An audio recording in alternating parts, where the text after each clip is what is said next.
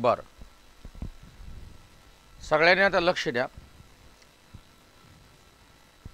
बहुतेक सगळे विद्यार्थी गणित आणि बुद्धिमत्ते बुद्धिमत्तेवरती तुटून पडलेले आहेत. परंतु बाळांनो जे काय दहा बारा मार्क्स तुमचे हातचे आहेत मराठी आणि इंग्लिशचे. मराठीचे दहा बारा आणि इंग्लिशचे दहा बारा समजा. ते हातचे मार्क्स तुमचे अगदी पैकीच्या पैकी मार्क्स पडू शकतात असे आहेत त्याच्यामुळं प्रश्नपत्रिकेत विचारले सोपे प्रश्न येतं. याच्यामध्ये अवघड पार्ट मी तुम्हाला एकच सांगतो की याच्यातला अवघड पार्ट कोणता आहे? तर तो आहे शुद्ध शब्दांच्या बाबतीतला.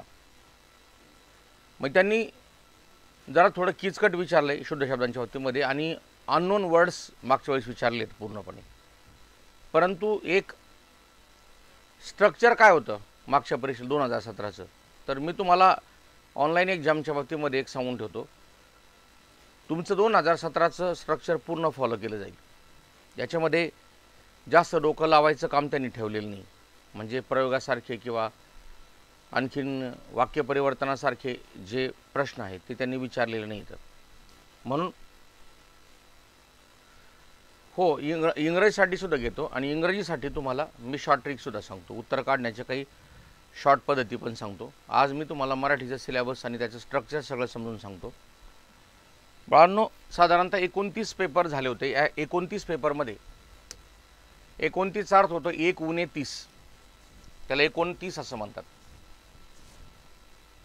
लिंग विचार एकोणतीस विशेषण तीस संधी एकोणतीस शुद्ध शब्द एकोणतीस शुद्ध वाक्य एकोणतीस अशुद्ध शब्द एकोणतीस अशुद्ध वाक्य एकोणतीस आणि समानार्थी शब्द. आता शुद्ध वाक्य आणि अशुद्ध वाक्य हे कसं वेगवेगळं करायला नको होतं बाळांनो? शुद्ध वाक्य ना अशुद्ध वाक्य हा एकच प्रकार आहे. ज्यावेळेस शुद्ध वाक्य असेल त्यावेळेस तीन अशुद्ध असतील. आणि ज्यावेळेस एक अशुद्ध असेल त्यावेळेस तीन शुद्ध असतील. फक्त काहीतरी मूर्खपणा करायचं काम केलं आहे आणि ते पण विद्यार्थ्यांच्या मागणी म्हणजे सोपे प्रश्न असले तरी पण माथी मारण्याचा प्रकार केला. एकच प्रश्न फक्त उलटा शब्द टाकून दिला आणि संपला. समानार्थी शब्द एकूण अठ्ठावन्न मार्कांना या ठिकाणी विचारले. सगळ्यात महत्त्वाची गोष्ट समानार्थी शब्दावरती सर्वात जास्त प्रश्न विचारले गेले तर.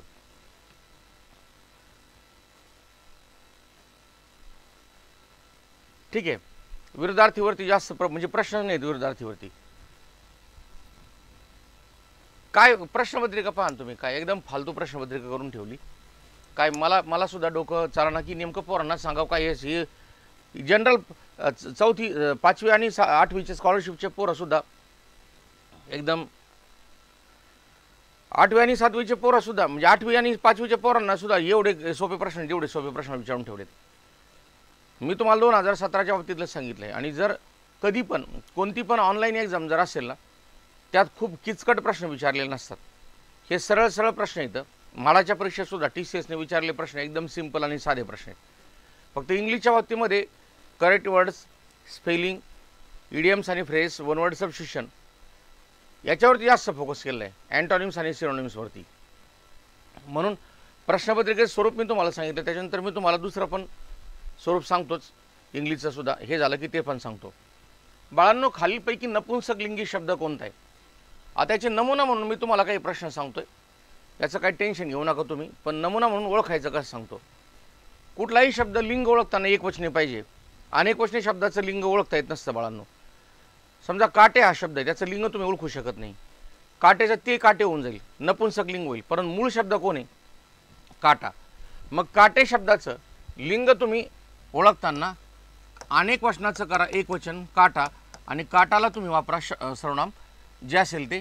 जर तो वापरलं तर पुलिंगी ती वापरलं तर स्त्रीलिंगी आणि ते वापरलं तर नपुंसकलिंगी. मग या ठिकाणी काटा हा तो काटा असतो म्हणून पुलिंगी शब्द येतो. नमुना म्हणून आपण याच्यावरती काही प्रश्न घेणार आहोत.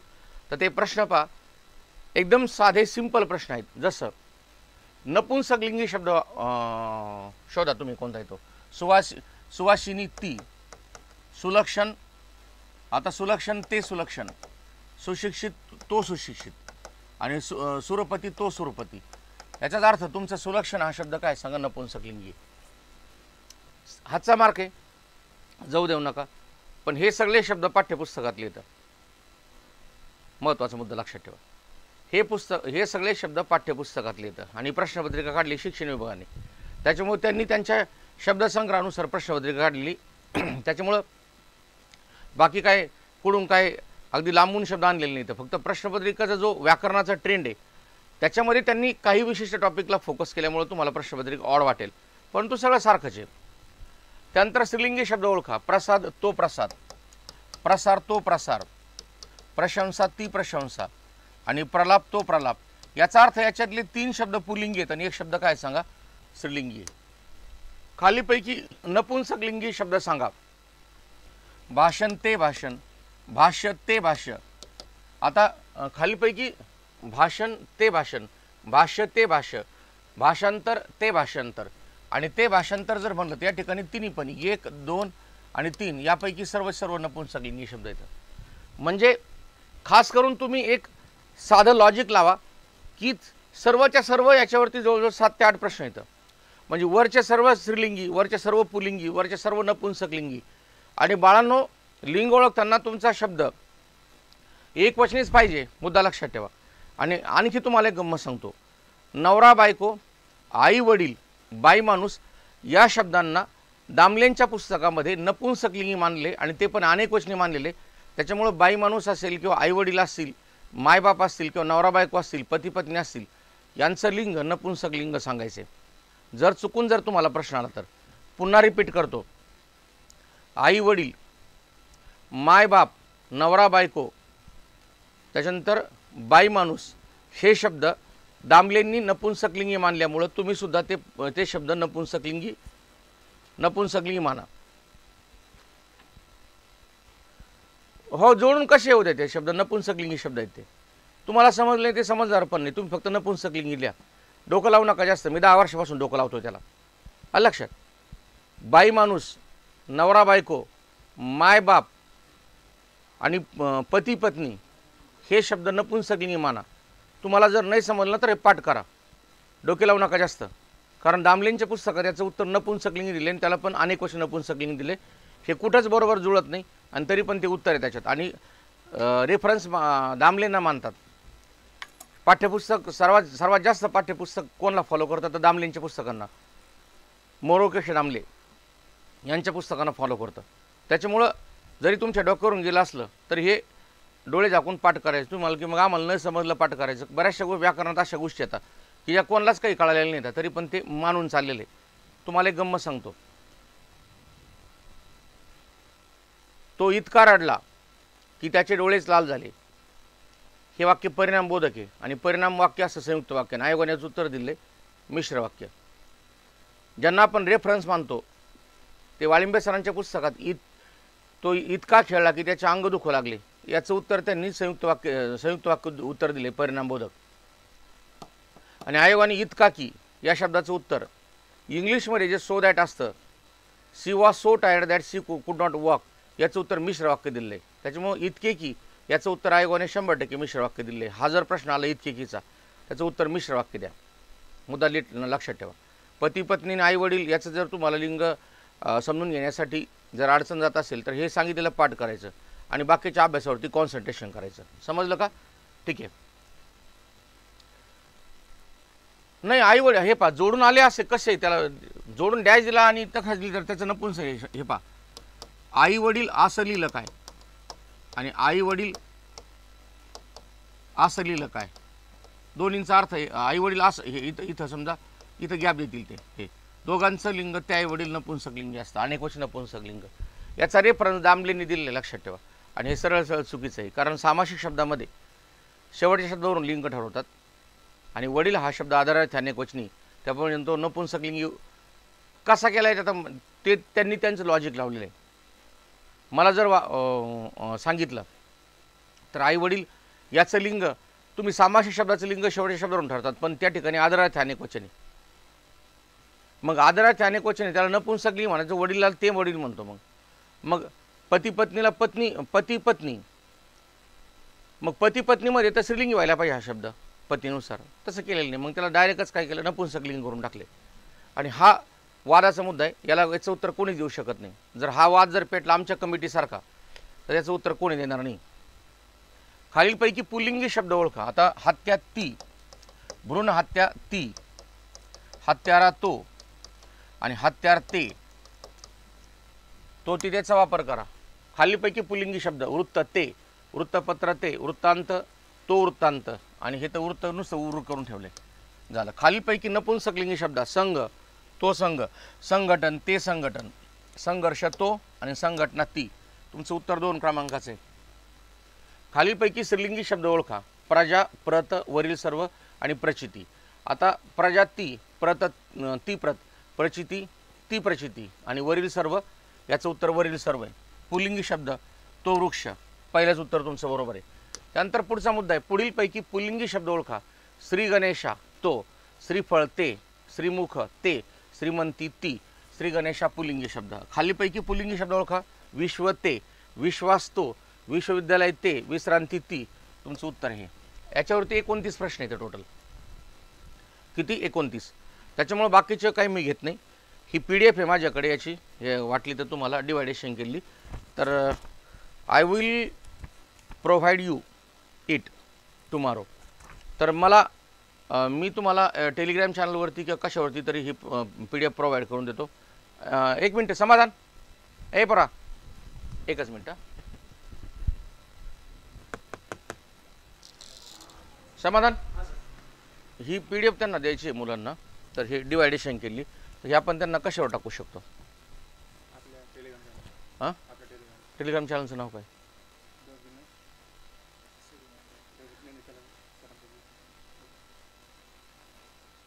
नाव सांगतो तुम्हाला मी. हो इंग्लिश पण घेतो ना. इंग्लिश पण घेतो काय काळजी नका करू. इंग्लिश पण घेणार आणि इंग्लिशचे तुम्हाला शॉर्ट ट्रिक्स पण सांगणार तुम्ही. काळजी करू नका. इंग्लिशचे शॉर्ट ट्रिक्स पण सांगतो. तुम्हाला ज्या ज्या शंका असतील त्या ते सोडून देतो मी तुम्हाला. हो. हे पहा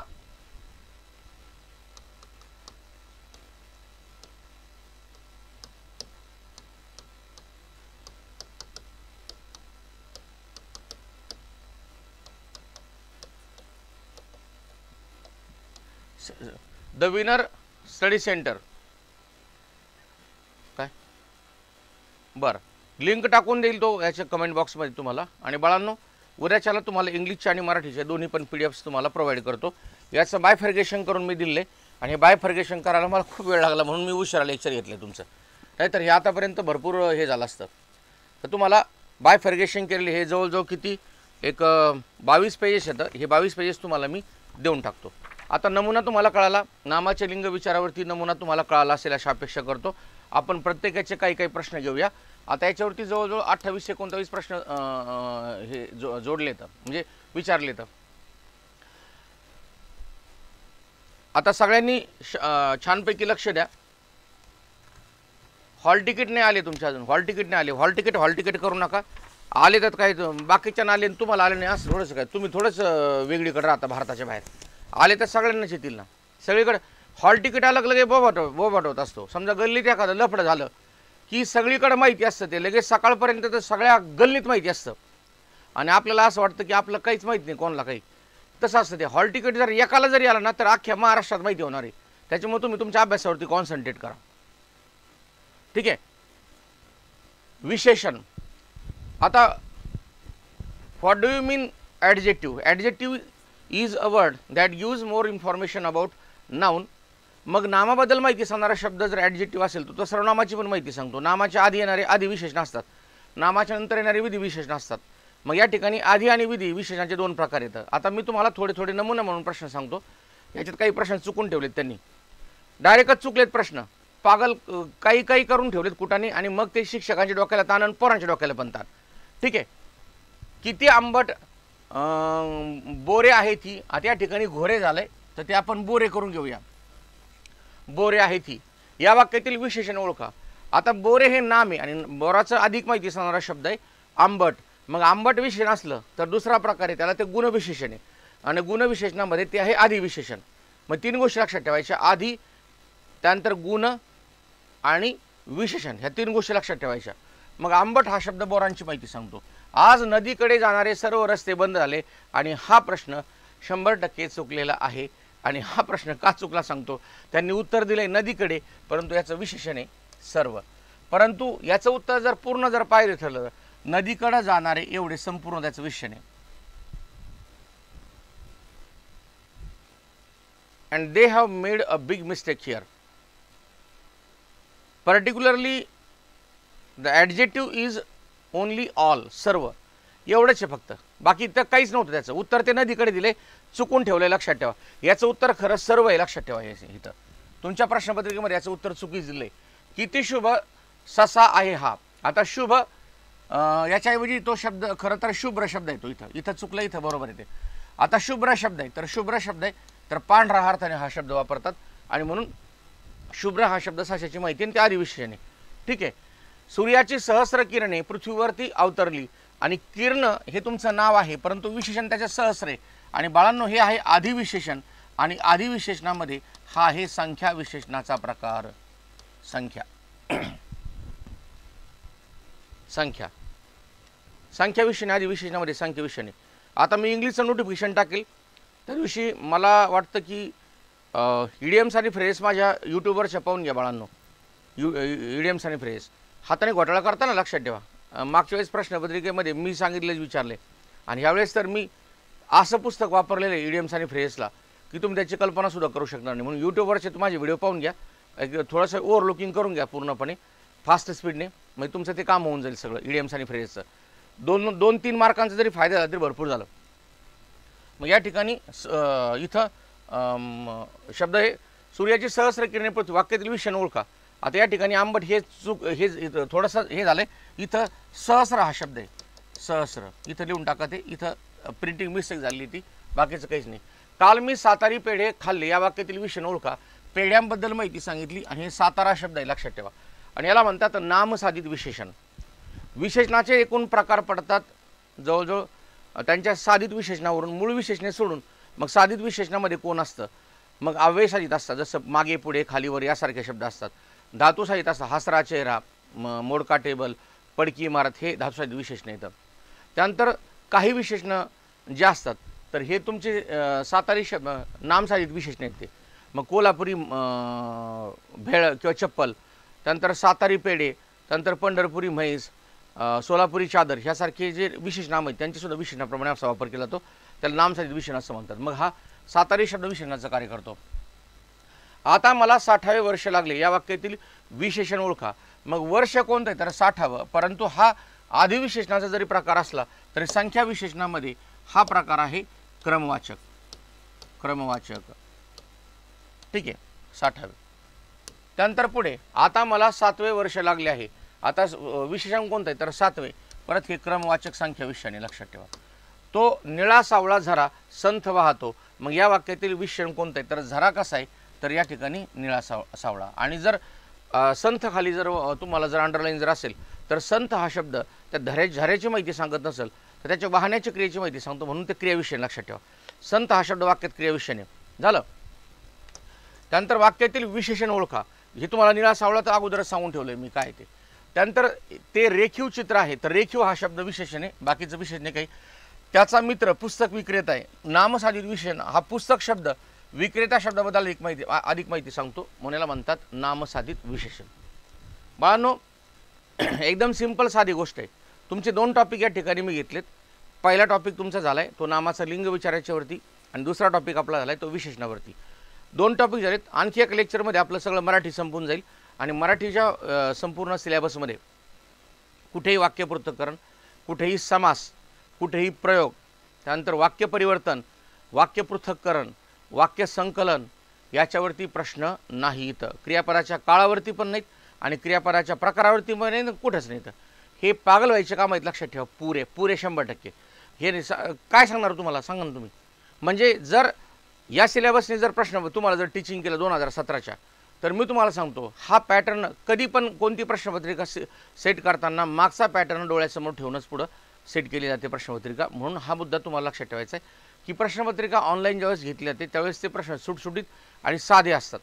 त्या ठिकाणी जास्त कॉम्प्लिकेशन नाही कारण टाईप करण्यासुद्धा पागल होऊन जातात पूर्णपणे. आणि एका एका ठिकाणी चार चार प्रश्न प्रश्न अ ब क बरोबर ढ बरोबर म बरोबर फ बरोबर सगळेच बरोबर असे प्रश्न शक्यतो नसतात. कारण त्या ठिकाणी जे बॉक्स असतात त्या बॉक्समध्ये टायपिंग करायला ते खूप अवघड असतं. आणि म्हणून तसे प्रश्न शक्यतो डिझाईन केले जात नाहीत. मुद्दा नीटेटका लक्षात ठेवा. आणि आता याच्यानंतर पुढचा मुद्दा आपण घेऊया. हे तर झालं आपलं विशेषण बाबतीमध्ये. पुढचा मुद्दा. खालीलपैकी शुद्ध शब्द कोणता? आता शुद्ध शुद्ध शब्द कोणता? याच्यावरती सु याच्यावरती सुद्धा प्रश्न तुमचे तुम्हाला येऊ शकतात. आणि हा प्रश्न हा जो टॉपिक आहे हा थोडासा किचकट असला तरी पण तुम्हाला शुद्ध शब्द काय करायचं? वाचून घ्यायचे शुद्ध शब्द. याच्यावरती वाचून घ्यायचे तर शुद्ध शब्द आहे तुमचा. तर जीव हा शब्द कुठे? आहे आपण नाही का मालिका पाहिली तुझ्या आता जीव रंगला. जी हा शब्द जो आहे त्याची वेलंटी दुसरी का असते? कारण तो जीव असा दीर्घ उच्चार केला तो जीव घेणा.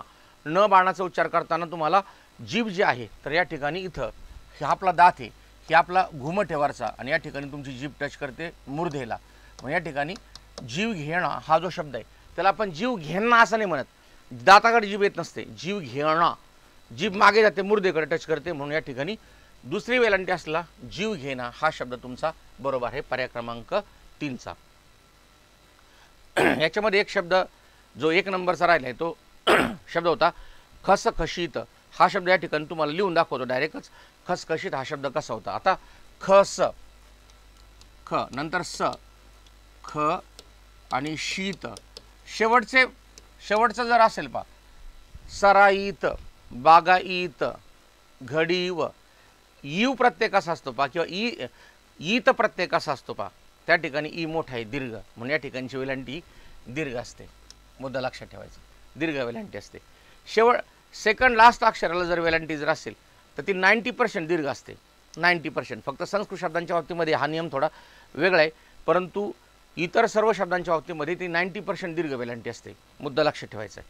त्यानंतर पुढचा प्रश्न आहे तो म्हणजे जीव घेणं तुम्हाला सांगितल्याप्रमाणे तर जीव घेणं हा तुम्हाला सांगितला आहे त्याच्यानंतर एक पुढचा शब्द आहे खालीलपैकी शुद्ध शब्द सांगा. आता हा जो शब्द आहे याच्यामध्ये तर खडसावणे खडसावणे हा शब्द नाही तर खडसाविने हा शब्द आहे. शुद्ध शब्द जर म्हणलं तर ख ड सलाकाना आणि विने विच्या वेळेस उच्चार शॉर्ट होतो. उच्चार वेळेस शॉर्ट होतो आणि म्हणून त्याचं वेलांटी पहिली येते. म्हणून या ठिकाणी खडसाविने खड सवने नाही इथं सतने इथं हा साव सा जो आहे तो दीर्घ असतो. खडसाविने म्हणून या ठिकाणी पर्याय क्रमांक एक. आणि इथं जसं खस खशीत शला लांबट उच्चार केला जातो. त्याप्रमाणे खडसाविनीमध्ये तुम्हाला उ- उच्चार शॉर्ट होतो. म्हणून पर्याय क्रमांक तुमचं एक नंबरचं उत्तर आहे. आणि हे जे प्रश्न येतं हे प्रश्न सगळे पाचवी ते दहावीपर्यंतच्या सिलेबसमध्ये जे शब्द आहेत त्याच्यातलेच येतात पूर्णपणे. शुद्ध शब्द येतात म्हणजे हा जो भाग आहे हा भाग दैनंदिन जीवनामध्ये तुम्ही कशा प्रकारे शब्द अभ्यासता किंवा वाचता कसा? वा वाचता कसे? त्याच्यावरती अवलंबून आहे. हे तुम्ही म्हणाल किंवा आम्ही पाठ करायचं वगैरे काय काय? पाठ करायची गरज काय? तुम्ही जर दररोज दैनंदिन जीवनामध्ये वाचताना काळजीपूर्वक वाचला असेल किंवा शुद्ध लेखन तुमचं व्यवस्थित असेल तर तुम्हाला याचं काही अडचणच नाही पहिली गोष्ट. हे जास्त काही म्हणजे एक साधारणतः एक मार्कासाठी हा प्रश्न असला तरी पण मानसिक त्रास आहे. कारण शुद्ध शब्द ओळखणं किंवा शुद्ध शब्द लक्षात ठेवणं ही फार मोठी जिकिरीची गोष्ट असते. आता कनिष्ठ हा जो शब्द आहे कनिष्ठ तर कधी पण लक्षात ठेवायचं कनिष्ठ श आणि ठ असतं. मी तुम्हाला चार ते पाच प्रश्न खास करून लिहून देतो. जरा नीट नीट लक्षात ठेवा. हे याच्यापैकी जर एखादा शब्द जर आला तर परीक्षेमध्ये डायरेक्ट मला मला माझ्या नावाने धन्यवाद द्यायचे. आता हे शब्द कोणकोणते ते लक्षात ठेवा. आता हे तर तुम्हाला सांगतोच पण माझे काही शब्द सांगतो. एक शब्द आहे पहिला आशीर्वाद. हा तर तुम्हाला की आम्हाला ते माहितीच आहे सगळं. आशीर्वाद. शला वेलंटी दुसरी. ओके? दुसरा दुसरा शब्द. तीर्थ रूप. लेकरांनो तला वेलांटी दुसरी कारण तीर्थरूप तचा दि- उच्चार दीर्घ आहे. रला उकार सुद्धा दुसरा आहे. रचा उकार पहिला आणि दुसऱ्या याच्यात फरक करा. रचा उकार जर तुम्ही जर चुकून जर उ- रला जर असा उकार जर दिला नाही इथं हे असा तर हा तुमचा पहिला उकार होऊन जाईल. रचा उकार असा असतो लक्षात ठेवा. तीर्थरूप हा शब्द खास करून तुम्हाला येईल परीक्षेला. येणार म्हणजे येणार. तीर्थरूप आतापर्यंत बऱ्याचदा विचारलं आणि आणखी तीर्थ असायचे शब्द. आणि आणखी एक शब्द. कोट्यवधी. कोट्यधीश. निलिमा. निलिमा. कोट्यवधी. कोट्यावधी हा शब्द आपण चुकीचा उच्चार करतो लक्षात ठेवा. कोट्यवधी टला य असतं.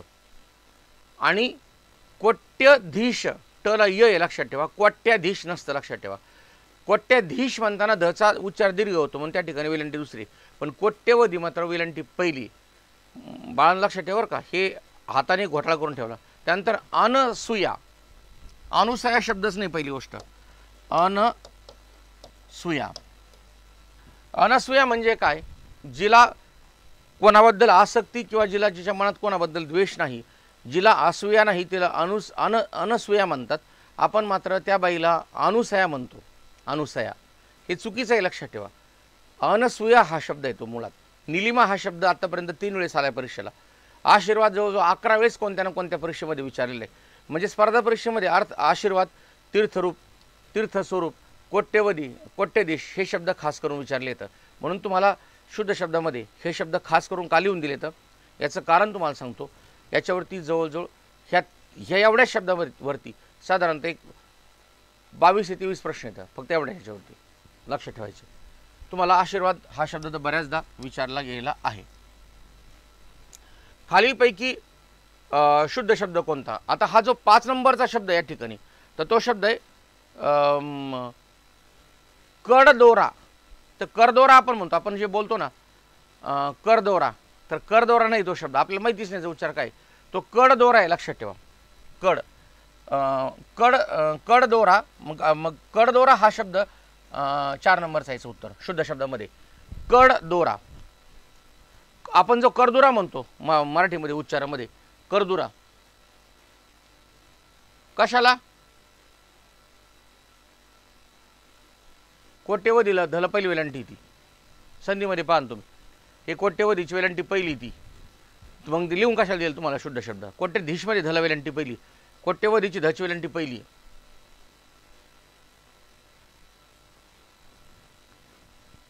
लक्षात ठेवा घोटाळा करताल ते कोट्यवधी. कोट्यवधीची वेलंटी परत आता कसं आहे आपला अंत्याक्षरुक्त शब्द ज्याला वेलंटी शेवटी असते ते तत्सम शब्दांच्या बाबतीमध्ये शेवटच्या वेलांटी आणि उकार पहिले असतात. मराठी शब्दांच्या बाबतीमध्ये ते दुसरे असतात. परंतु या ठिकाणी मात्र ही संधी आहे संस्कृत संधी.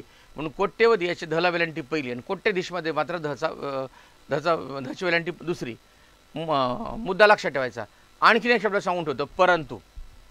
परंतु काय विचारासारखं आहे मला सांगा बरं. तरी पण परंतुमध्ये उकार पाहिलंय त्याची वेलांटी पहिली हे हे विचारतात आणि भूगोल एक विचारतात. भूगोल. कुठलाही भूपासून तयार झालेला जो शब्द आहे ना तो भूपासून तयार झालेला शब्द की नेहमी दीर्घच असतो भूगोल.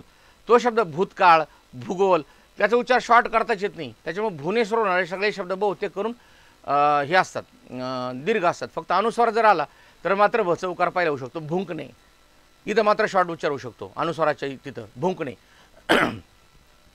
अनुस्वार विरेश बहुतेक शब्द भूगोलचे किंवा भूचे शब्द नेहमी दुसरेच असतात. दीर्घ. पाणी आणि पाणीमधला फरक तुम्हाला माहिती आहे. पाणी न बाणांची वेलांटी दुसरी असेल तर त्याचा हा अर्थ होतो हात. आणि पाणी न बाला बाणांची वेलांटी जर पहिली असेल त्याचा अर्थ होतो जल. त्याच्या मुद्दा लक्षात ठेवायचा. पुढे. कडदोरा हा शब्द आहे. त्यानंतर पुढे. खालीपैकी शुद्ध शब्द सांगा. आता हा जो सहा नंबरचा प्रश्न आहे तर सहा नंबरच्या प्रश्नामध्ये कडदोरानंतर कुटुंब हा जो शब्द आहे तर कुटुंब शब्दामध्ये तुम्हाला एक महत्त्वाचा मुद्दा सांगतो. कुटुंब याच्यामध्ये कचा उच्चार पण शॉर्ट आहे आणि टवर त्या अनुस्वाराचा सुद्धा उच्चार तो एकदम कॉम्प्रेस केलेला आहे. म्हणून या ठिकाणी कुटुंब शब्दामध्ये कुठेही तुम्हाला दीर्घ उच्चार आता भिंत. भिंतमध्ये भचा आणि ईचा यांचा उच्चार खूप लांबट केलेला आहे. भिंत. तसं. कुटुंब हा शब्द एकदम शॉर्ट उच्चाराचा म्हणून सगळ्यांचे उकार पहिलेचे ज्या ठिकाणी कुटुंब. मग इथं जिथं तुम्हाला सगळे पहिले उकार दिसतील तो शब्द आहे. आणि हा प्रश्न खास करून आय एम पी करा. कोणता? हा सहा नंबरचा प्रश्न.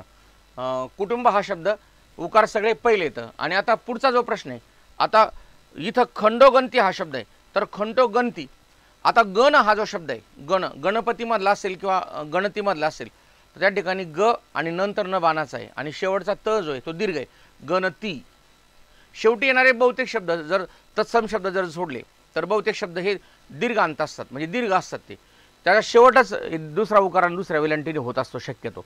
मग या ठिकाणी खंडोगणती हा जो शब्द आहे खबरती अनुस्वार आहे ड. आता खंडोगणती म्हणलं तर अनुस्वार डलकाना मात्र गणती. मग गणपती हा शब्द सुद्धा गणपती. याच्यातलं फक्त एवढं लक्षात ठेवायचं गण. हा गण शब्द नाईंटी नाईन पर्सेंट ग न न म्हणलं की त्या ठिकाणी तुम्हाला न बाणाचाच वापरावा लागतो. मग ही गणपतीमधला जर गण लक्षात ठेवला तर गण जिथं शब्द तुमच्या शब्दांच्या मध्ये कुठं प्लेस केलेला असेल तर तो शब्द कधी पण ग आणि न बाणाचा असतो. म्हणून इथं पहिला एक नंबरचं उत्तर तुमचं बरोबर आहे. त्यानंतर खालीपैकी शुद्ध शब्द ओळखा. आता हा जो जीवापाड हा शब्द आहे. तर जीव आणि जीवापाड याच्यामध्ये फरक कसा आहे पाप जीव जीवमध्ये वेरण दीर्घ उच्चार आहे. जीव. पण इथं याला जर काना जर जोडला जीवा याचा पुढच्याचा दीर्घ उच्चार करताना मागच्याचा रस उच्चार होतो म्हणून या ठिकाणी हा शब्द जीवा पाड असा वेलंटी होते. म्हणजेच पुढच्याचा उच्चार दीर्घ करण्यासाठी मागच्याचा उच्चार काय करावा लागतो? शॉर्ट करावा लागतो. म्हणून जीव हा शब्द तुमचा दीर्घ उच्चाराचा असला तरी जीवापाडमध्ये मात्र जीचा उच्चार डायरेक्ट वामुळं शॉर्ट होऊन जातो. आणि म्हणून जीवापाड हा शब्द पहिल्या वेलंटीचा आहे. आणि जीवलग म्हणलं तर त्या ठिकाणी वच्या उच्चारात काहीच फरक नाही. मग जीवलगमध्ये वचा उच्चार आहे तोच आहे जीवमधल्यासारखाच म्हणून या ठिकाणी जीवलगचा उच्चार जसा आहे तसा तो दीर्घ उच्चार आहे. त्याप्रमाणे इथं जीवापाडमध्ये मात्र तुमचा उच्चार शॉर्ट होतो म्हणून पहिला वे- पहिली वेलंटी म्हणून जीवापाड हा शब्द जिथं पहिली वेलंटी तर तुमचं उत्तर बरोबर आहे. आता खालीपैकी शुद्ध शब्द सांगा. आता कोरडवाहू हा शब्द आहे. आठ नंबरचा हा जो प्रश्न आहे तर याच्यामध्ये कोरडवाहू हा शब्द आहे. तर शेवटचे वेलांटे आणि उकार शक्यतो दीर्घ असतात. परंतु हा शब्द कोरडवाहू कोरड म्हणजेच काय? दुष्काळ. जिथे पाण्याची सोय नाही त्याला कोरड असं म्हणतात. आणि वाहू म्हणजेच काय? कोरडवाहू म्हणजेच काय? कोरड्या शेतीमध्ये आपण ज्याला म- मशागत करून पीक लावतो त्याला कोरडवाहू असं म्हणतात. मग या ठिकाणी कोरडवाहू हा शब्द एकतर वाहूचा उकार दुसरा आहे पहिला उकार चालणार नाही.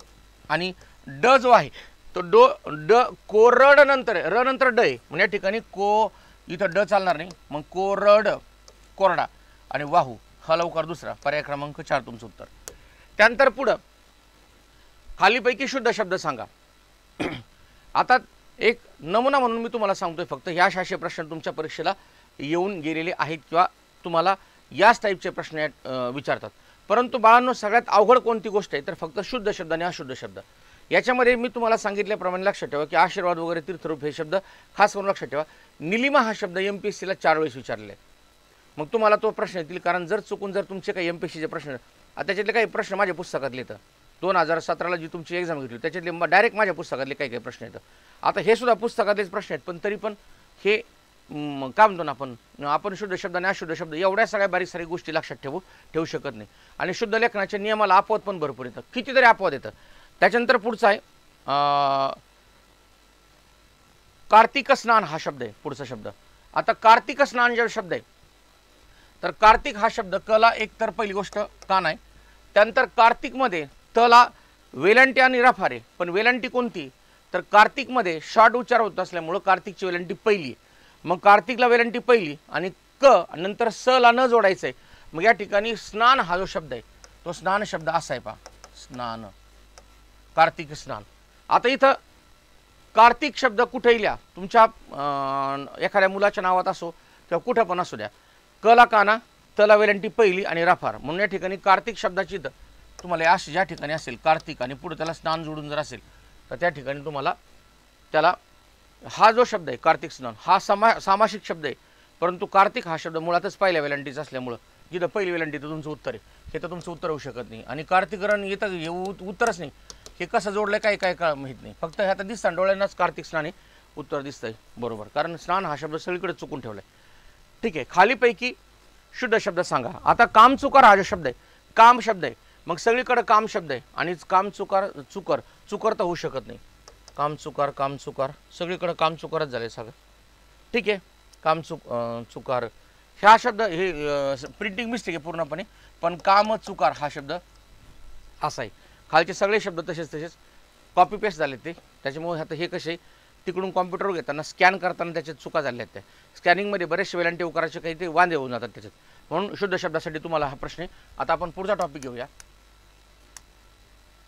हे पहा आता आता मी तुम्हाला सांगितलं होतं ना गुरु. गुरु हा शब्द आहे. हा एक अतिशय महत्त्वाचा शब्द आहे गुरु शब्द. बाळांनो गला उकार पहिला असतो गुरु. आणि रला उकार दुसरा असतो. आता बरेचसे पोरं आहेत ते त्यांचं काय म्हणणं असतं माहिती आहे का? हे जे मुलं आहेत मुलांचं म्हणणं काय असतं माहिती तुम्हाला? गुरु शब्द जो आहे तो शब्द तत्समय कथत भाऊ आम्हाला सांगा. बाळांनो गुरु शब्द मुळा संस्कृतमध्ये असा आहे. हा गला पाहिलं उकार आहे आणि रला पण पाहिलं उकार आहे. आणि हा मराठीतला उच्चार आहे. बाळांनो गुरु शब्दाचा उकार जरी बदलला असला दुसरा दुसरा उकार जरी बदलला असला तरी लेकरांनो एक गोष्ट लक्षात ठेवा त्याच्या उकारात जरी बदल झाला असला तरी उच्चारात फरक नाही. म्हणजे गुरु शब्दाचा उकार पहिला असला तर तो तत्सम शब्द आहे. आणि त्याचा उकार दुसरा असला तो तो मराठी उच्चार जरी असला तर उच्चारात फरक न झाल्यामुळं गुरु शब्द फक्त संस्कृतमध्ये पहिल्या उकाराने लिहितात आणि मराठीमध्ये दुसऱ्या उकाराने लिहित असले तर उच्चारात फरक नसल्यामुळं हे दोन्ही शब्द हे तत्सम शब्दामध्येच मोडतात. आणि हा बराचसा मोठा वादाचा मुद्दा झाला तो पाठीमागे. मुलं म्हणले उकार बदलला तुम्ही तर तुम्ही त्याला तद्भव उत्तर द्यायला पाहिजे होतं. पण वादाचा मुद्दा झाला येतो आणि आणखी एक तुम्हाला गंमत सांगतो. सगळ्यांनी छान पैकी लक्ष द्या. इ- संस्कृतमध्ये प्रीती अधिक अर्थ अशा प्रकारची एक संधी प्रित्यर्थ. प्रित्यर्थ. आता मी तुम्हाला एक गंमत सांगतो. तुम्ही ज्यांना रेफरन्स मानता किंवा आपण ज्यांना रेफरन्स मानतो वाळिंबे सरांच्या पुस्तकामध्ये प्रीती अधिक अर्थ याच्यात तची वेलंटी पहिली दिलेली. आणि आठवीच्या पुस्तकात याची वेलंटी दुसरी दिली कारण मराठीमध्ये आपण प्रीती दीर्घ लिहितो. प्रीती आपण ह्रस्व लिहित नाहीत. मग म याच याची जर फोड जर तुम्हाला जर सांगितली आता प्रित्यर्थाची तर या ठिकाणी त्याची फोड अशी लिहा. प्रीती अधिक अर्थ. हा लय मोठा घोटाळा झाला बरं का? आठवीच्या पुस्तकात याची प्रीती अधिक अर्थ अशी फोड आहे. आणखी तुम्हाला एक गंमत सांगतो.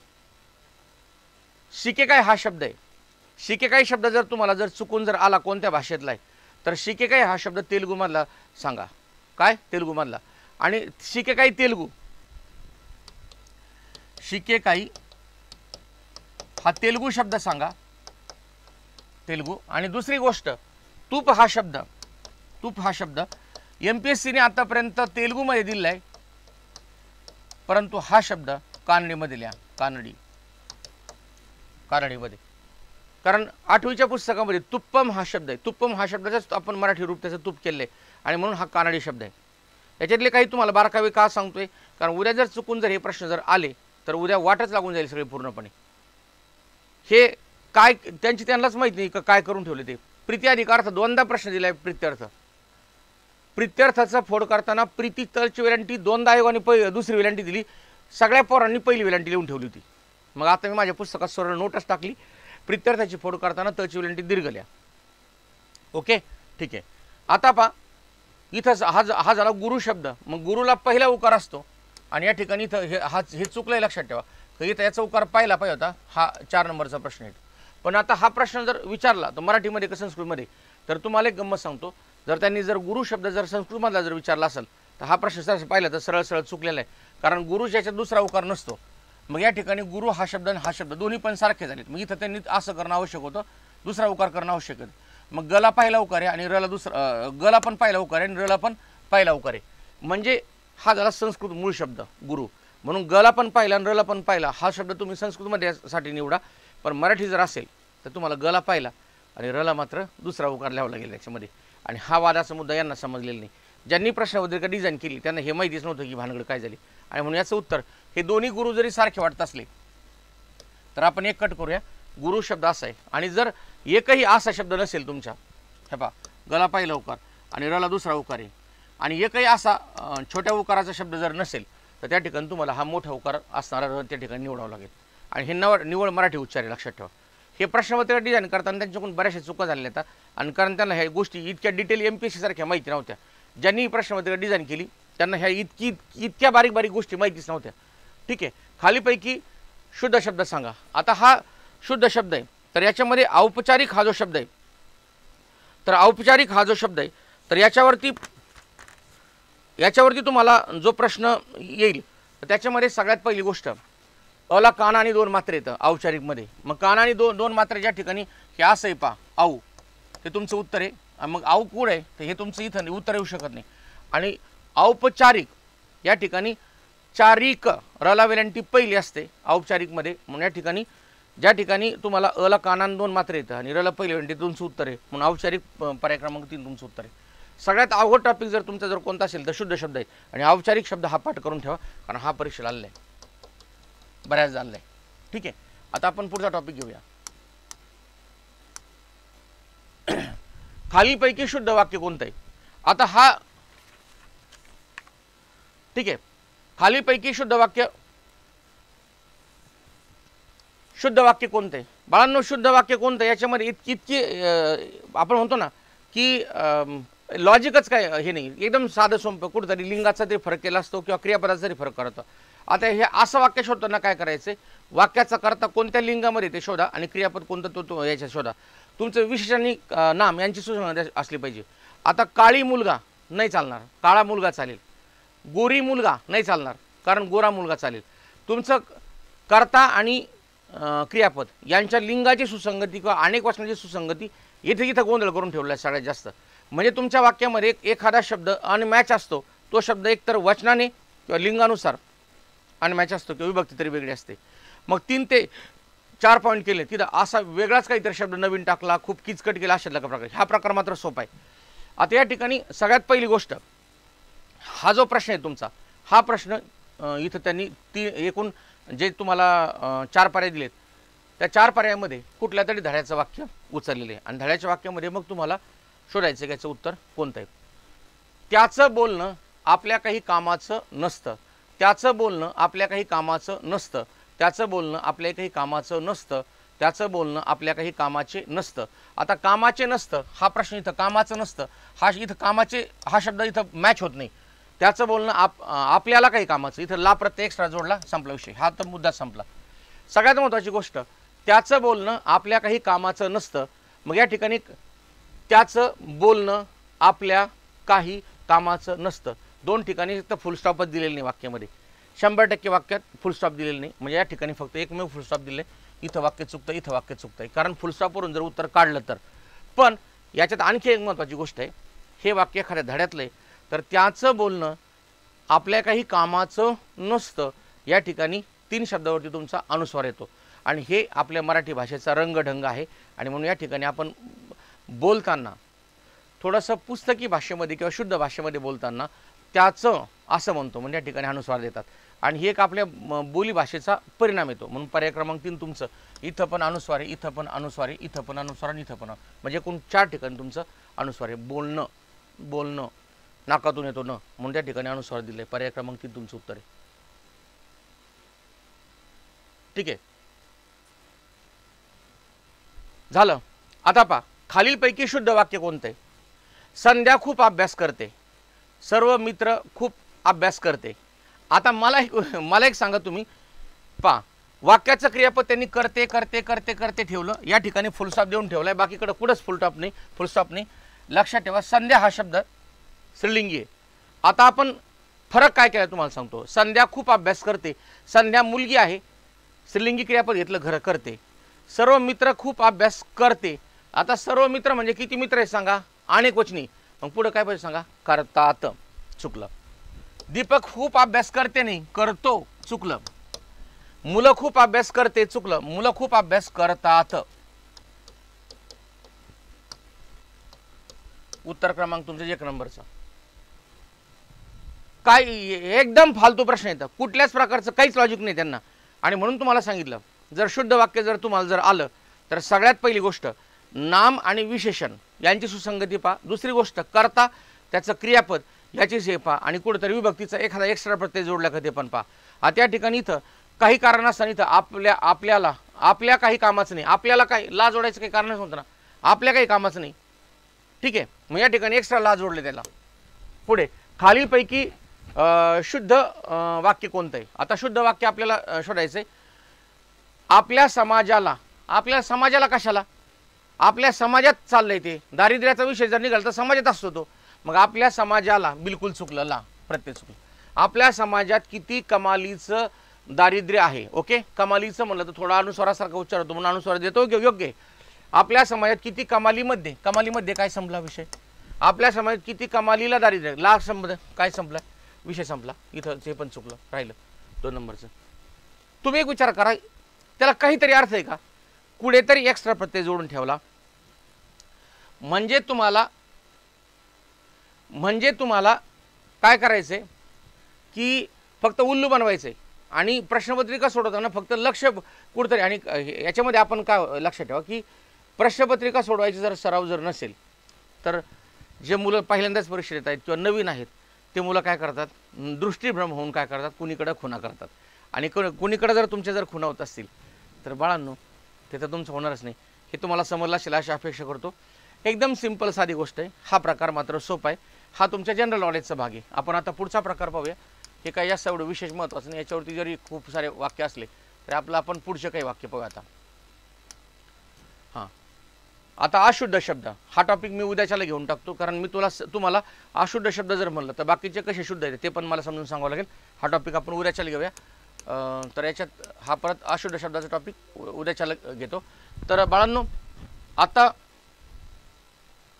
स्क्रीन क्लिअर आहे. तुम्हाला तुमचा मोबाईलची हे वाढवा.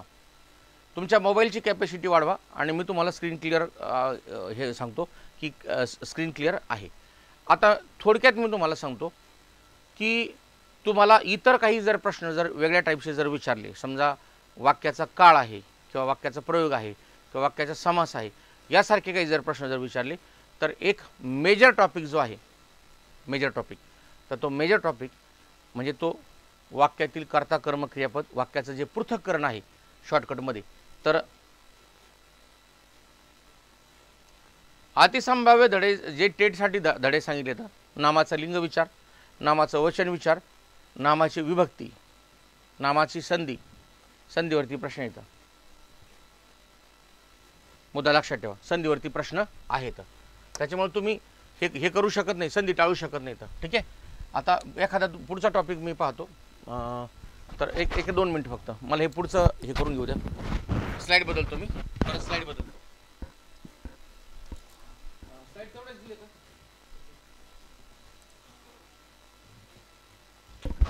सर्व आहे का? तेवढंच होतं. आता मी तुम्हाला इंग्लिश ग्रामरचे सांगतो ना. वन वर्ड सबस्टिट्यूशन आहे. त्यानंतर इडियम्स आहेत. त्याच्यानंतर फ्रेस आहेत.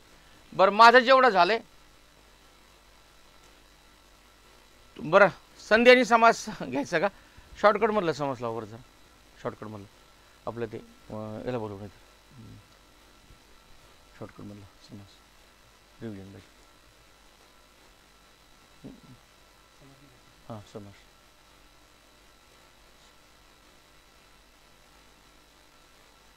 हे तर हे हे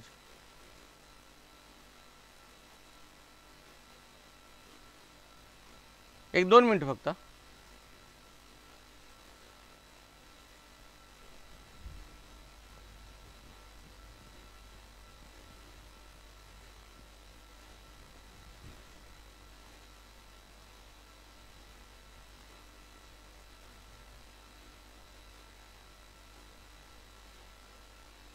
दुसरे दुसरी साईड ओपन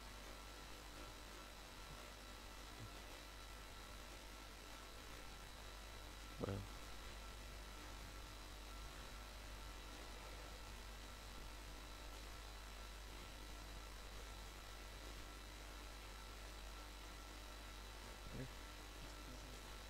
समस्या त्याची समज बर आता एक काम करा. मी तुम्हाला ते ते म्हणतात की स्क्रीन दिसत नाही धडाची. ते पाय बरं काय म्हणणं त्यांचं. स्क्रीन दिसते का पाय बरं?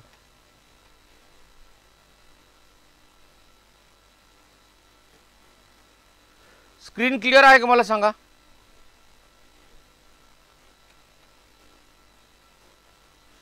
ठीक आहे. स्क्रीन दिसते ना? बरं आता सगळ्यांनी लक्ष द्या. तुम्हाला समासाची अडचण आहे ना तर मग मी समासाची अडचण तुमची सोडवण्याचा प्रयत्न करतो. अर्धा समास आज घेऊया अर्धा समास आपण उ उ- हे घेऊया उद्या घेऊया. आणि लेकरांवर जरा लक्ष द्या बारकाईनं. तुमचा दहा मिनटात समास तुमच्या डोक्याच्या बाहेर काढून टाकेल मी. दहाच मिनटामध्ये. सगळ्यांनी जरा बारकाईने लक्ष द्या. ज्यांना समास आयुष्यामध्ये कधीच कळालेली नाही समास ही संकल्पनाच कळालेली नाही त्यांना मी समास काय वानगडे ते सांगतो. लक्ष द्या.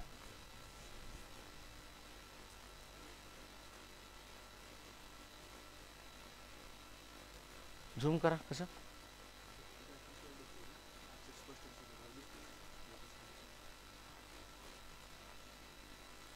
ठीक आहे नाही तुम्हाला दिसत नाही का व्यवस्थितरित्या?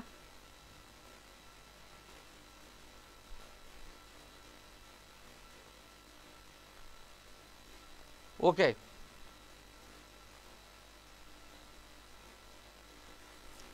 झूम करा म्हणते ते.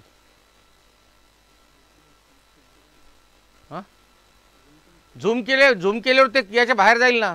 तो ते पाय बरं काय हां? ते तुमचे एक काम करा.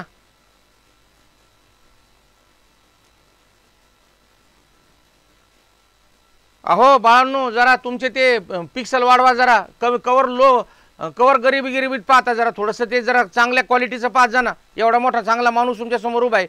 आणि तुम्ही पुअर क्वालिटीमध्ये एकशे साठवर एकशे सत्तर चाळीसवरती पाहताय तुम्ही. ठीक आहे?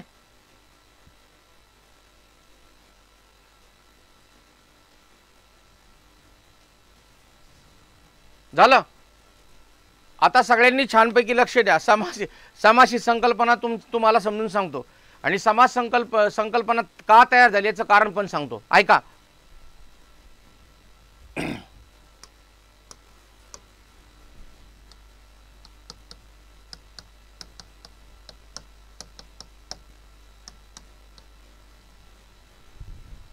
प्रॉब्लेम काय झाला की काही शब्द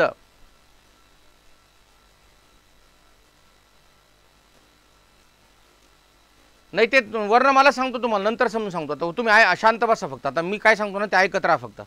वर्णमाला पण तुम्हाला समजून समजून सांगतो सगळी वर्णमालेचं पण समजून सांगतो काय अडचण आहे आता सगळ्यांनी छानपैकी लक्ष द्या. लेकरांनो मला एक सांगा. मला एक सांगा. संधी आणि समासामध्ये नेमकी भानगड काय आपल्या बोलण्यामध्ये काय झालं की कधी कधी काय तर दोन थेंब पाण्याच्या जवळ आले. दोन थेंब पाण्याच्या जवळ आले तर ते दोन थेंब थेंब काय करतील एकमेकाला आकर्षित करतील आणि गप्पन एकवत मिसळून जातील झाला एकच जोड. पण दोन तुम्ही आता काचेच्या लहानपणी गोट्या खेळला असाल पा त्या गोट्या जर आपण जर शेजारी ठेवल्या एकमेकात मिसळणार नाही कारण त्या घन स्वरूपात येतात. तसा प्रकारे जर तुम्ही दोन पाण्याचे थेंब जर आणले तर ते फा पाण्याचे थेंब एकमेकांना अटॅच होतात आणि ते डायरेक्ट त्या ठिकाणी तुम्हाला जोर दिसत डायरेक्ट एकरूप होऊन जातात. संधी. समास डायरेक्ट शेजारी असा असतो. मग आपल्या उच्चारामध्ये उच्चार सोपा करण्यासाठी जे काही वर्ण एकमेकात मिसळतात त्याला संधी म्हणतात आणि जर शब्द एकत्र स- शेजारी ठेवले तर समास म्हणतात. मग या ठिकाणी तपा. वरण भात याला काही एकत्र करण्याची गरजच नव्हती कारण इथून डायरेक्ट रेषा ब बसते. हा शब्द वेगळा आहे ना हा शब्द वेगळा आहे. याचा अर्थ हा झाला समास. पण सूर्योदय सूर सूर्य अधिक उदय याच्यामध्ये तुम्हाला जोड दिल्याशिवाय मी आज सूर्य सूर्य उदय पाहिला असं म्हणण्याच्याऐवजी डायरेक्टच जोड बसतो. सूर्योदय पाहिला आणि हाच दोन वर्णांचा मिलाप म्हणजे संधी असते आणि संधीमध्ये हंड्रेड पर्सेंट एकतर संयुक्त स्वर असतो किंवा एकतर जोडाक्षर असतं. त्याला संधी म्हणायची. जोडाक्षर जर नाही तयार जर झालं तुमची संधीच नसते. एक तर संयुक्त स्वर तयार होत असतो किंवा एक तर जोडाक्षर तयार होत असतं. मग सूर्योदय ही झाली तुमची संधी. सूर्योदय. मग लेकरांनो आपल्याला आता पाहायचं आहे समास आणि समास ही भानगड काय? तर समास हा जो शब्द आहे ती एक संधी जसं आता पहा सम अधिक अस. या ठिकाणी इथला अ आणि इथला अ यांचं मिळून या ठिकाणी आ होतं. आणि ही आहे स्वर संधी. आणि स्वर संधीमध्ये आहे सजातीय संधी. आणि यालाच म्हणतात दीर्घत्व संधी. दीर्घत्व संधी. म्हणजे समासाचा अर्थ काय सांगा. दोन शब्द शेजारी ठेवणे आणि समास हा स्वतः संधी लक्षात ठेवा. जर असा प्रश्न आला खालीलपैकी संधियुक्त शब्द कोणता आहे? आणि त्याच्यामध्ये जर संधियुक्त शब्द जर आला तुम्हाला आणि त्याच्यामध्ये वरण भात आई वडील समास हे शब्द असतील तर तुमचा संधियुक्त शब्द समास हे लक्षात ठेवा. आणि आतापर्यंत कोणाच्याच पुस्तकात दिलेली नाही. की समास हा स्वतःच एक संधियुक्त शब्द आहे. आणि समासामध्ये त्याचा उपयोग कशाकरता केला आहे तर दोन शब्द फक्त शेजारी ठेवण्यासाठी. आता समाज तयार करण्यापाठीमागं कारण काय होतं? आपण काही वस्तू सारख्या सारख्या वापरतो. कायमस्वरूपी जवळ सारख्या सारख्या वापरतो. जसं वरण भात हळदी कुंकू साडी चोळी शर्ट पॅन्ट आई वडील भाऊ बहीण. मग हे सुसंगत शब्द आपण सारख्या वापरामुळं एकत्र लिहितो पण त्यांच्यात जोड बसतच नाही. त्याला समास असं म्हणतात. मग समासाचे एकूण जे चार प्रकार पडतात मुख्य चार प्रकार पडतात त्या चार प्रकारामध्ये आणखी उपप्रकारसुद्धा येतं मग समासा समासामध्ये चार प्रकार का केलेत? तुमच्या कोणाला महत्त्व आहे? त्यानुसार तुमचं तुमच्या समासाला महत्त्व आहे. आता तुम म्हणजे सम समास ठरलेला आहे. आता समजा कुठं पोते उचलायचं ठरले कुठं ओझं उचलायच ठरलं तर घरात नवरा बायको असतात नवऱ्याला महत्त्व असतं. पाणी भरायचं ठरलं मोठं भांडं असलं किंवा काही असलं तर नवऱ्याला महत्त्व असतं. पण कुठं हळदी कुंकू असलं कुठं भांडायला जायचं असलं तर बायकोला महत्त्व असतं. मग या ठिकाणी कोणत्या शब्दाला महत्त्व आहे? त्यानुसार त्या शब्दाचा प्रकार ठरलेला आहे. मग पहिला शब्द महत्त्वाचा दुसरा शब्द महत्त्वाचा दोन्ही महत्त्वाचे आणि दोन्ही महत्त्वाचे नेतं हे समासाचे चार प्रकार पडतात. आणि यावरून समासाचे चार प्रकार पडतात. त्याच्यामध्ये पहिला प्रकार आहे तुमचा अव्ययभाव समास. आता लेकरांनो याच्यामध्ये पहिलं जे स्ट्रक्चर तुम्हाला सांगतो ते पहिलं स्ट्रक्चर काय आहे ते लक्षात घ्या. अव्ययभाव समास याच्यामध्ये दोन शब्द एकत्र येतात. त्यातला एक पहिला शब्द असतो आणि एक दुसरा शब्द असतो. याला महत्त्व असतं आणि याला महत्त्व नसतं. कारण याचं नाव काय आहे सांगा? अव्ययभाव समास. आणि अव्ययभाव समासामध्ये पहिला शब्द महत्त्वाचा असतो. कारण ते पहिलंच अव्यय असतं. पहिलं अव्यय आणि नावही अव्यय म्हणून अव्ययभाव समासात पहिला शब्द महत्त्वाचा प्रथम पद प्रधान समास. तत्पुरुष समासामध्ये दोन शब्द एकत्र येतात. याच्यामध्ये पहिलं विषय नसतं आणि दुसरं नाम असतं. पहिल्याला महत्त्व नसतं आणि दुसऱ्याला महत्त्व असतं. म्हणून तत्पुरुष समासामध्ये पहिल्याला महत्त्व नाही आणि दुसऱ्याला महत्त्व आहे. म्हणून या ठिकाणी याला म्हणतात जो तत्पुरुष समास. आहे याला द्वितीय पदप्रधान समास म्हणतात. द्वंद्व समासामध्ये असे दोन घटक असतात. त्या दोघांना पण महत्त्व महत्त्व असतं. मग उदाहरण पहा. या ठिकाणी दोन समासामध्ये एक आणि दोन. आई आणि वडील दोघांना पण महत्त्व आहे. शर्ट आणि पॅन्ट दोघांना महत्त्व आहे. शर्ट आणि पॅन्ट दोघांनाही महत्त्व असल्यामुळं ते दोन्ही आवश्यक घटक आहेत आपल्याला. आणि इथं बहुरी समासामध्ये यालाही महत्त्व नाही आणि यालाही महत्त्व नाही. दोन नंबरला पण. हे कट आणि हे कट. म्हणून याला दोन्ही पदे गौण श- पद समास म्हणतात. स्ट्रक्चर लक्षात आलं? आता पहिला मुद्दा. अव्ययभाव समास. लेकरांनो अव्ययभाव समासामध्ये एक महत्त्वाचा गुण आहे. तो म्हणजे क्रियाविशेषणाचं कार्य करण्या करण्याचा. आपल्या वाक्यामध्ये जर एखादा सलवाचक कालवाचक आणि रितवाचक शब्द जर आला आणि तो जर जोड शब्द जर असेल तर शंभर टक्के तो अवयभाव समास असतो. आता उदाहरण पहा. याच्यामध्ये येणारे सगळे शब्द स्थळ काळ आणि रीत असतात. मग स्थळ काळ आणि रीत दर्शक शब्द जर दोन शब्दांचे मिळून बनलेले असतील तर डोळे झाकून म्हणायचं अवयभाव समास. बाळांनो एक गोष्ट लक्षात ठेवा. स्थळ दाखवणारे शब्द रीत दाखवणारे शब्द आणि काळ दाखवणारे शब्द जर दोन शब्दांचं कॉम्बिनेशन झाले असतील तर डोळे झाकून सांगायचं अव्ययभाव समास. आता याच्यामध्ये पहिला प्रकारे संस्कृत उपसर्ग. आणि संस्कृत उपसर्गामध्ये येणारे उपसर्ग येतं आ यथा आणि प्रति झाले. मग आता या या ठिकाणी आमरण. आमरण. मरेपर्यंत. कालवाचक शब्द. पर्यंत. मग कालवाचक शब्द आहे. तर या ठिकाणी पर्यंत आ हा उपसर्ग आहे. मग कालवाचक सलवाचक आणि रितवाचक शब्द जर असेल तर शंभर टक्के शंभर टक्के. कोणता समास? अव्यभाव समास. आणि यातलं पहिलं अव्यय असतं. मग पासून पर्यंत पलीकडे येथून तेथून यासारखे ते अव्यय असतात. आणि म्हणून त्याला अव्ययभाव समास म्हणायचा. आता याच्यातमध्ये उ फारशी उपसर्ग. मग याच्यामध्ये बे दर बेला गैर हर बर यासारखे उपसर्ग येतात. मग आता या ठिकाणी दर साल दर साल हा झाला कालवाचक शब्द दर साल कालवा शब्द. मग बाळांनो बाकी काही डोक्यात लक्षात ठेवू नका. संस्कृत उपसर्ग फारशी उपसर्ग तुम्हाला विचारतील की विचारतील? नाही नाही विचारणार. त्याचा प्रश्न प्रश्न नाही. पण मेन काय लक्षात ठेवायचं? तुम्हाला एवढ्या खोलवरती विचारणार नाही तर तुमची प्रश्नपत्रिका दहा ते बारा मार्कांचे मराठी जे प्रश्न येतं ती फक्त आणि फक्त जनरल नॉलेजवरती प्रश्नपत्रिका राहील मराठीची. एवढं तुम्हाला खास करून सांगतो. त्याच्यामुळे आत्ता जे घेतोय मी मागचं मराठीचं तेच लक्षात ठेवायचं. नेटकं याच्यावरतीच प्रश्नपत्रिका सेट होईल तुमची अशीच. समानार्थी शब्द विरुद्धार्थी शब्द म्हणी वाक्प्रचार कधी येऊ शकतात तुम्हाला. ठीक आहे? पुनरावृत्ती शब्द आणि हा एक अतिशय महत्त्वाचा घट घटक आहे. मराठी पुनरावृत्ती झालेले शब्द. झालेले शब्द. मग याच्यामध्ये घरोघरी. घरोघरी जागोजागी पानोपानी क्षणोक्षणी. जिथं डबल शब्द आला की डायरेक्ट सांगायचा अव्ययभाव समासातला एकतर सलवाचक किंवा कालवाचक शब्द. बाळांनो आमरण मरेपर्यंत कालवाचक शब्द. दर साल कालवाचक शब्द. घरोघरी स्थलवाचक शब्द. यथाशक्ती रितवाचक शब्द. एका सेकंदामध्ये उत्तर क निघतं. अव्ययभाव समासातला पहिला शब्द महत्त्वाचा आहे कारण तो अव्यय असतो आणि हा शब्द सलवाचक कालवाचक रितवाचक क्रियाविशेषणाचं कार्य करतो. विषय फिनिश याच्या पलीकडे बाकी काही डोकंच लावू नका. जिथेही सलवाच्या कालवाच्या शब्द असेल किंवा रीतवाचक शब्द असेल तर आविर्भाव समास ठोकून द्यायचं. दुसरा शब्द. द्वंद्व समास. द्वंद्व समास आता मधला समास मी का आत्ता घेत नाही? कारण तुम्हाला दोन समास महत्त्वाचे समजून सांगतो. आणि नंतर परत उद्या दोन समास महत्त्वाचे तुम्हाला समजून सांगतो. बाळांनो फक्त पाच मिनिटामध्ये तुमचे दोन प्रकार होतात. आता पहिला प्रकार सलवाचक कालवाचक रीतवाचक संपला. द्वंद्व समास. मग द्वंद्व समासामध्ये दोन्ही नामे असतात. नाम प्लस नाम. नाम प्लस नाम. मग बाळांनो या ठिकाणी काय करायचं? नाम प्लस नाम दोन्ही नावं परंतु याचे प्रकार कसे केलेत? तर याच्यामध्ये पहिला प्रकार इतर इतर याच्यामध्ये दोन्ही नावं दोन्ही पण आवश्यक असतात. मग तुम्हाला जर विचारलं आई पाहिजे का भाऊ पाहिजे? तो आई पाहिजे वडील पाहिजेत? तुम्ही काय म्हणणार? दोन्ही पण पाहिजेत मला. शर्ट पाहिजे पॅन्ट पाहिजे दोन्ही पण पाहिजेत. विटी पाहिजे दांडू पाहिजे दोन्ही पाहिजेत. ज्या दोन्ही वस्तूंना महत्त्व असतात दोन्ही गरजेच्या आहेत त्याची एकाशिवाय कामच एकाने कामच होऊ शकत नाही.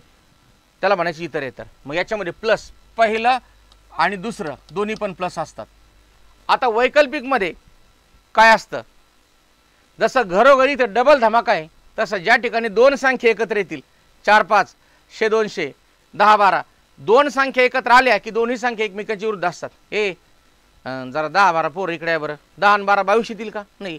दहा किंवा बारा येतील ते. दोन संख्या आणि विरुद्धार्थी शब्द. जर एकत्र जर आले मग याच्यामधले दोन शब्द कोणते असतात? याच्या पलीकडे हा समाज जर गेला तिथून पुढं. दोन संख्या एकत्र आले की डोळे झाकून बाळासाहेब शिंदेचं नाव घेऊन सांगायचं हा वैकल्पिक द्वंद्व समास आहे.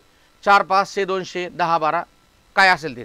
आणि विरुद्धार्थी शब्द. मग याच्या या- याच्यामध्ये याला एक महत्त्व असतं किंवा याला एक महत्त्व असतं? दोन्हीपैकी एकच घ्यायचं.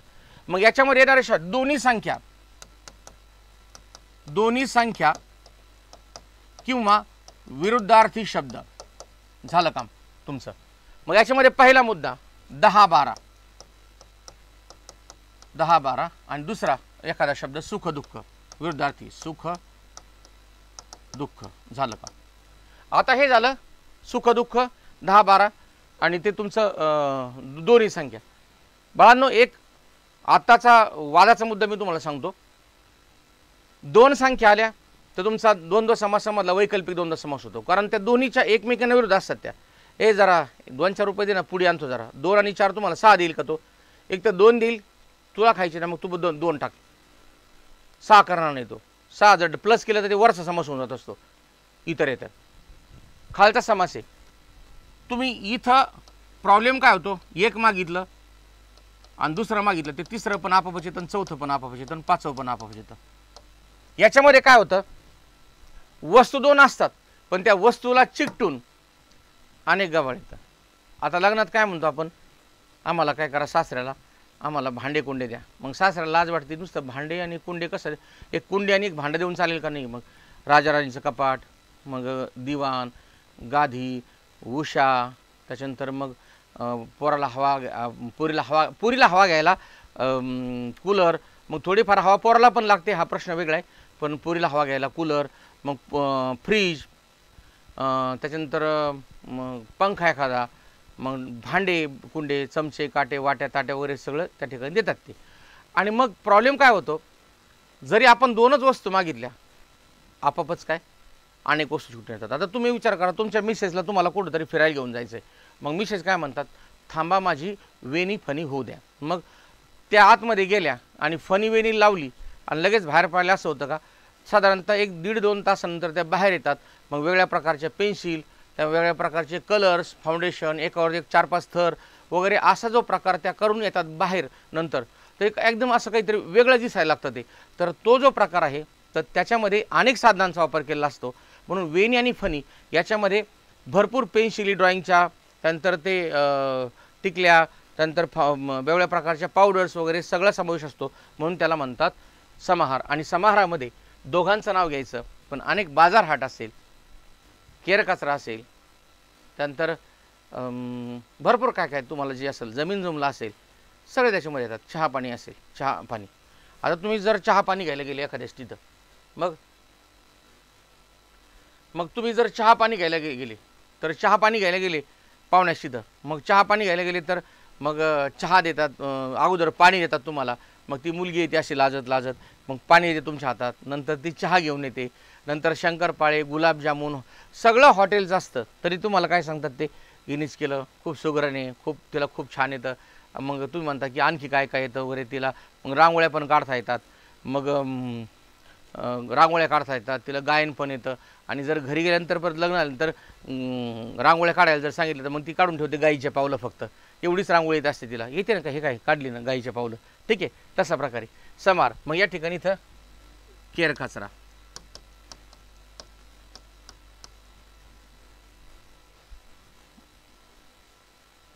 ठीक आहे. मग याच्यामध्ये काय झाला प्रॉब्लेम दोन समास तुमचे डायरेक्टच उडून गेले. दोन समास डायरेक्टच उडून गेले तर. ते म्हणजे अविभाव समास सलवाचक कालवाचक वाचक शब्द. आणि दोन शब्द दोन नावं जर असतील बाळांनो दोन्हीचे दोन्ही पण नावं जर असतील तर तो द्वंद्व समासच असतो. आणि द्वंद्व समासामध्ये दोन्ही पण आवश्यक इतर इतर दोन्हीपैकी एक आवश्यक वैकल्पिक आणि सगळंच गाभाळ समाहार. दुसरा मुद्दा आता एक वादाचा मुद्दा सांगतो आणि ज्यांना का कोणाला माहिती नाही जरा डिटेट लक्ष द्या. दोन्ही संख्या संख्या प्लस संख्या जर अशी कंडिशन जर असेल तर हा समास असतो द्वंद्व. आणि जर संख्या प्लस नाम जर असेल आणि अशा अनेक वस्तू जर असतील तशा तर हा असतो द्विगु समास. आणि संख्या प्लस नाम बरोबर एकच वस्तू असेल तर हा असतो बहुरी समास. बहुरी समास.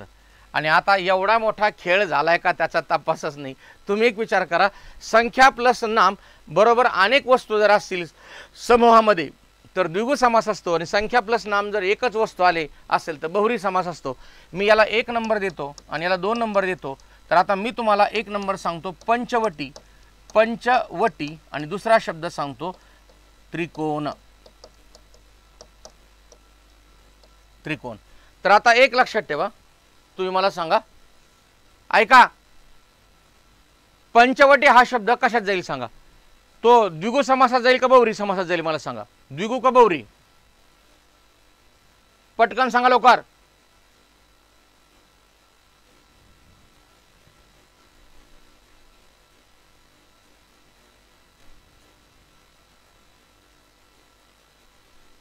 द्विगु समासा कोणता? हा समास द्विगु समास आहे कोणता पंचवटी? आता त्रिकोण सांगा मला. त्रिकोण हा समास द्विगु समास आहे का बौरी? समास एवढं सांगायचं. परत सांगा. त्रिकोण हा शब्द कशामध्ये जाईल? द्विग समास की बहुरी समास?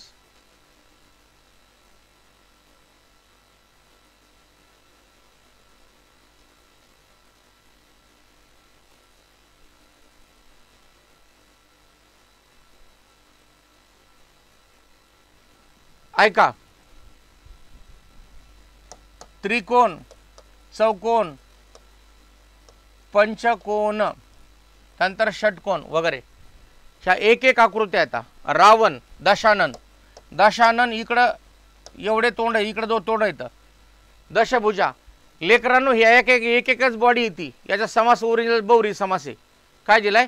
बौरी समास त्याचं ओरिजिनल आठवीच्या पुस्तकात याचं उत्तर काय माहिती आहे का? आणि तुमच्या टी सी एच्या परिषदेचं उत्तर काय दिलं माहिती आहे याच्या उत याचे त्रिकोण चौकोन हे सोडून द्या. हा जर बहुरी समासाचे हा. पण याचं उत्तर दिले द्विगु समास. याचं उत्तर द्विगु समास दिलं हे याचं. म्हणून त्रिकोण चौकोन षटकोन जर तुम्हाला आलं तर त्याचं उत्तर द्विगु समास द्या. हे नाही तर करताळ घोटाळा. आठवीच्या पुस्तकात द्विगु समास उत्तर दिले डायरेक्ट चुकलंय ते. कारण एक बॉडी कधीच नसते. द्विगु समास हा समूह असतो. बार भाई असेल पंचवटी असेल पंचपाळे असेल सम समूह आहे. दशानन म्हणलं तर त- एका बॉडीला दहा तोंड येते तो. समूह नाही लक्षात ठेव. एकच बॉडी दशभुजा देवीच्या शरीराला दहा हात येतं. एकच बॉडी येते त्रिकोण एकच बॉडी आहे. षटकोन एकच बॉडी आहे. द्विगु समास उत्तर उत्तर दिले त्याचं. त्याचं बौरी समास उत्तर दिले आणि त्याचं ओरिजिनल सगळ्या लेखांच्या पुस्तकात बौरी समास उत्तर आहे. आणि हा मोठा सगळ्यात मोठा घोटाळा झालेला आहे.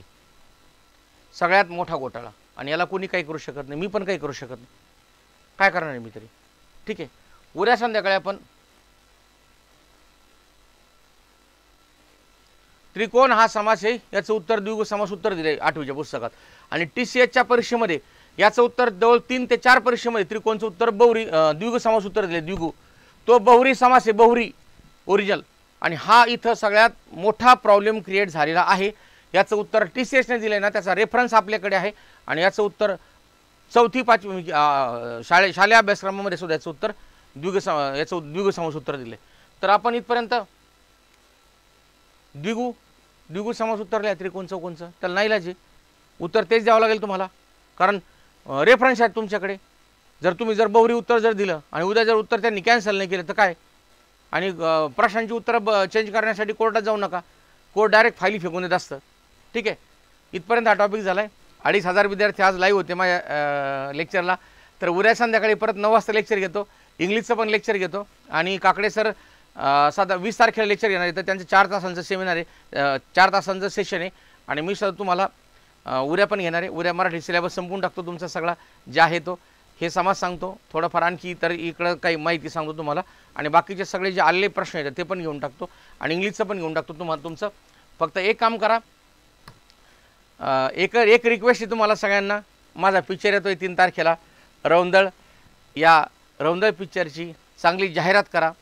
कारण मित्रांनो माझ्याकडे खरं पाहिलं तर मी एक तुम्हाला अगदी प्रामाणिक सांगतो मी प्रमोशनला कमी पडतो आहे म्हणजे प्रमोशनला कमीत कमी सात आठ कोटी रुपये खर्च येत असतो. मी त्या प्रमोशनला कमी पडतो आहे कुठंतरी. मला असं वाटतं आहे आणि एवढ्या वेळेस मला मी जो प्रॉब्लेम मांडला आहे त्या पिक्चरमध्ये तुम्ही ज्यावेळेस बाहेर याल थिएटरमधून त्यावेळेस तुमचं डोकं सुन्न होऊन जाईल. की खरोखर शिंदे सरांनी काय अभ्यास केला असेल याच्यावरती ही आम्ही या गोष्टीवरती का बोलू शकत नाही इथं? तुमच्या असं रक्त खळून उठेल तुमचं की हे आमच्याबरोबर घडत असताना आम्ही याच्याविरुद्ध का बोलू शकत नाही? की हे काही काही लोकांना माहितीच नाही की तुमच्याबरोबर काय गेम होतोय ते. आणि तेवढं स्टडी करून मी ती फिल्म बनवलेली. गाणे चांगले तर ॲक्शन आहे. आणि एक सोशल संदेश मी देण्याचा त्याच्यातून प्रयत्न केला आहे आणि ह्या चित्रपटाचे प्रचारक आणि प्रसारक व्हा. अख्ख्या महाराष्ट्रामध्ये चित्रपट ब्लॉकबस्टर होईल. अशी मी तुमच्याकडून अपेक्षा व्यक्त करतो आणि ते तुम्ही कराल. धन्यवाद. गुड नाईट सगळ्यांना. उद्या आपण भेटूया नऊ वाजता. ठीक आहे.